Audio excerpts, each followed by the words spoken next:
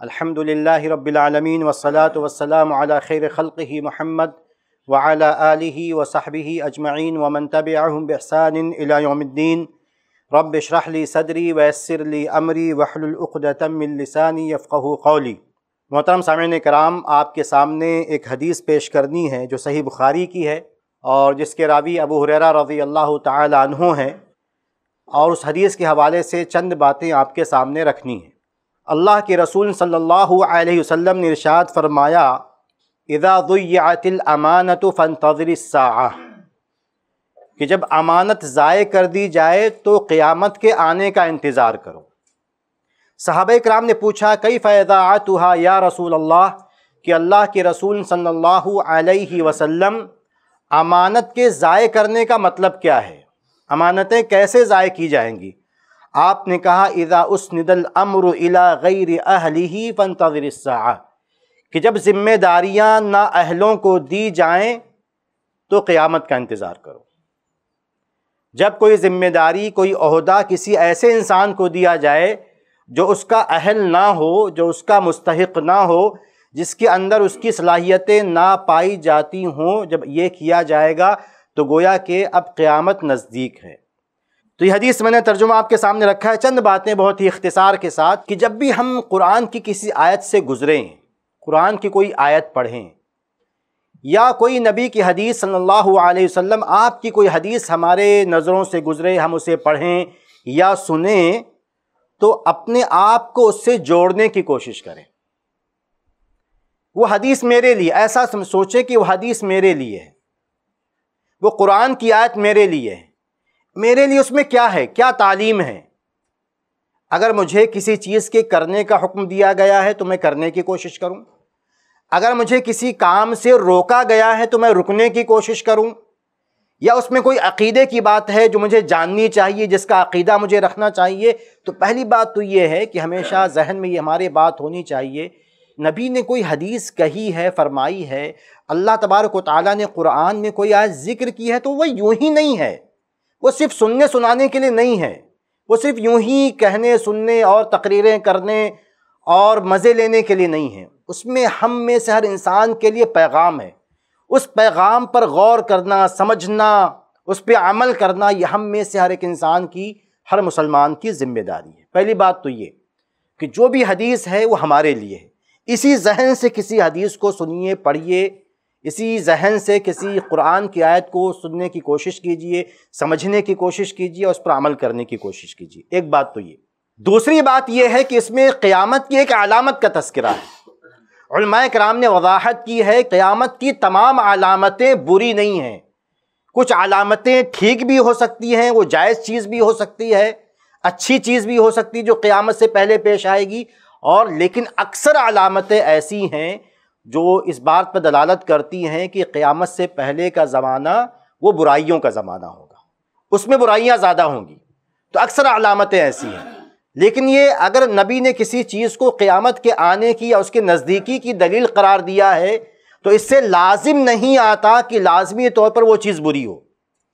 वो ठीक बजाते खुद उसका देखा जाएगा, वो चीज़ बुरी है दूसरी दलीलों की रोशनी में कि वो चीज़ जो है जायज़ है, नाजायज़ है, हराम है या बुरी है या अच्छी है।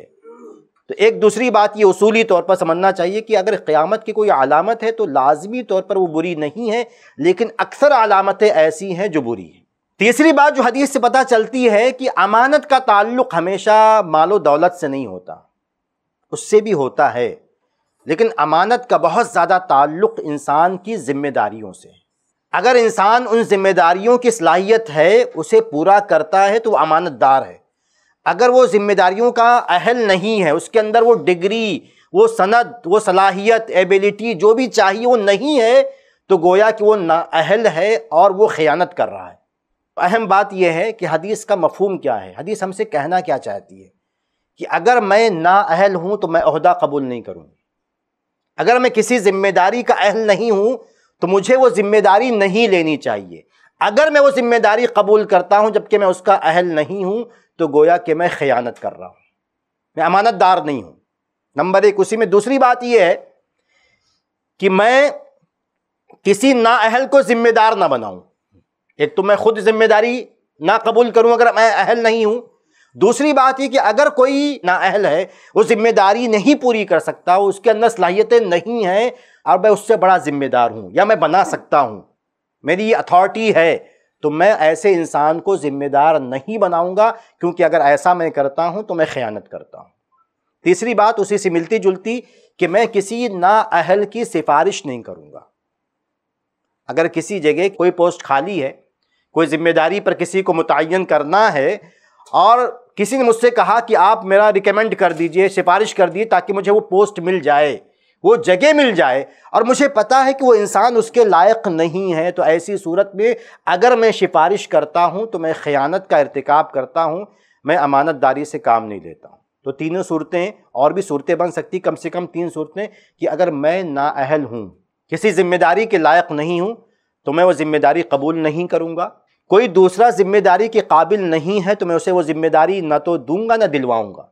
और उसी में तीसरी बात, मैं किसी ऐसे शख्स की सिफारिश, किसी भी ज़िम्मेदारी के लिए, पोस्ट के लिए नहीं करूँगा, जो उसका अहल नहीं है। एक आखिरी बात कह के बाद ख़त्म करता हूँ कि एक बहुत बड़ी बेईमानी और ख़यानत यह है कि इंसान किसी इल्म के मैदान का सनद याफ्ता ना हो और इंसान अपने आप को उस इल्म का, उस मैदान का माहिर लोगों के सामने बावर करवाए, उसके बाद लोगों की रहनुमाई करे उस फ़ील्ड में। जैसे ूम दीनिया है, शरीयत का मसला है। बहुत सारे ऐसे लोग हैं जो सनद याफ्ता नहीं हैं, जिनके पास मतलूबा सलाहियतें नहीं हैं, मतलूबा डिग्री नहीं है। फिर भी वो आके स्टेज पे आके यूट्यूब पे आकर या किसी भी जो है ज़रिए से वो लोगों की दीनी रहनुमाई का फरीज़ा बज़ाम खुद वो अंजाम दे रहे हैं तो ऐसे लोग जो है वो ख़यानत का शिकार हो रहे हैं। और मिसालें बहुत सारी ऐसी आती रहती हैं, जहाँ वो गलतियाँ करते हैं और भयानक गलतियाँ करते हैं। तो ऐसा नहीं करना चाहिए। और ये किसी फ़ील्ड में नहीं होता है। इस पर काफ़ी बात हो चुकी है। छोटा सा क्लिनिक भी खोलता है इंसान ना तो उसमें डिग्री चाहिए। कम से कम बी तो चाहिए। एमबीबीएस नहीं लेके आए तो कम से कम कम सलाहियत वाली बी लेके आओ। और कोई डिग्री लेके आओ जो आयुर्वेदिक में मिलती है या होम्योपैथिक में मिलती है, इंसान काम चला लेता है। लेकिन आपके पास कोई डिग्री नहीं है तो कोई भी, मुआशरा, समाज कोई फ़ील्ड के जो एक्सपर्ट हैं, कोई हुकूमत, कोई कानून ये बर्दाश्त नहीं करेगा कि आप कोई क्लिनिक खोलें, किसी हॉस्पिटल में काम करें, जबकि आप सर्टिफाइड डॉक्टर नहीं हैं। आपके पास कोई डिग्री नहीं है। इंसान के जिस्म का मामला ये है कि हम उसमें बर्दाश्त नहीं कर रहे हैं कि कोई आदमी जो है अनसर्टिफाइड हो और वो लोगों का इलाज करे। जबकि वह मामला सिर्फ़ दुनिया तक महदूद है। और शरीयत का मसला ऐसा है कि शरीयत का मसला वो दुनिया के लिए भी है और दुनिया के बाद के लिए भी है तो उस मसले में हम किसी अनसर्टिफाइड आलिम को कैसे बर्दाश्त करते हैं? क्यों हम अपनी लगाम जो है, उसको, अपनी ज़िम्मेदारी उसको दे देते हैं? तो ये ख़यानत ऐसी है, इसमें अल्लाह की भी ख़यानत है, उसके रसूल की भी ख़यानत है, उसके दीन की भी ख़यानत है और मुसलमानों की भी ख़यानत कि कोई इंसान सर्टिफाइड ना हो मुस्ंद आलिम ना हो और वो लोगों के सामने खड़ा होकर दीनी मसाइल बयान करे। तो हमें ऐसा नहीं करना चाहिए और ऐसे लोगों की हौसला शिकनी करनी चाहिए, उनको समझाना चाहिए कि अगर आपको इसी फ़ील्ड में आना है तो जो प्रोसेस है उसका, जो प्रॉपर रास्ता है, जो प्रोसेस है, जैसे एक डॉक्टर डॉक्टर बनता है, एक इंजीनियर इंजीनियर बनता है, एक आईटी जो है एक्सपर्ट आईटी एक्सपर्ट बनता है अपने एक प्रोसेस से। वो जो है, वो शुरू से के से पढ़ के वो जो है, दसवीं, बारहवीं, उसके बाद वो चॉइस करता है कि उसे किस फ़ील्ड में जाना है। जैसे वो करता है, वैसे शरीयत का इल्म भी इतना ही वसी है, इतना कुशादा है, इतना पेचीदा है कि उसके लिए वो चीज़ चाहिए। तो इसलिए हमें जो है ऐसे लोगों की हौसला अफजाई भी नहीं करनी चाहिए। इसी पर अपनी बात को ख़त्म करता हूँ। अल्लाह ताला से दुआ है कि अल्लाह ताला हमें दीन को समझने उस पर अमल करने की तोफ़ी अता फ़रमाए। आमीन। वसलम वरहमल वर्क ऐसे ही फ़ायदेमंद इस्लामिक वीडियोस देखने और मनहज सलफ़ पर किताब व सुन्नत की तालीमत को आम करने में हमारा ताउन करें ताकि आपके लिए ज़रिया नजात, जन्नत के हसूल का सबब, साथ ही माल में बरकत व इजाफे का ज़रिया भी बने। आमीन।